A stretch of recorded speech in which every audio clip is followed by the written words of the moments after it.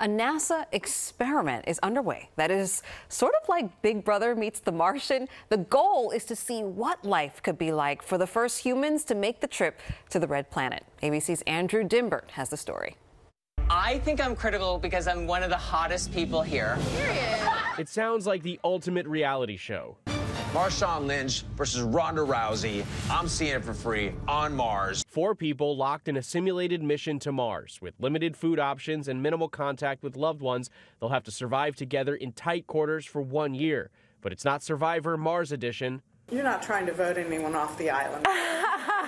no, and we certainly hope the crew doesn't either. These four volunteers, selected from more than 4,000 applicants, entered a 3D printed Mars habitat at Johnson Space Center in Houston last night for the first of 365 days they'll spend inside together. The habitat, simulating what life would be like on the red planet, has bedrooms, a kitchen, living area, work areas, and two bathrooms, 1,700 square feet in all. Doesn't sound so bad until you hear the rules. Restricted food, restricted water, restricted personal items. Even communicating with family is restricted. Despite being in Texas, NASA will simulate the time it takes for messages to travel from Mars to loved ones back on Earth. They'll have to determine what they elevate back to mission control and wait 44 minutes for the response.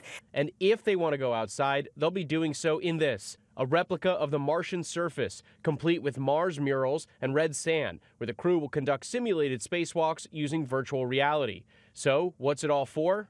This research is really designed to inform the different resource trades that we'll have to make when we go to Mars someday. At least there's no chance of ending up like Matt Damon. So, yeah, I blew myself up. This is the first of three missions designed to simulate living on Mars, each lasting one year.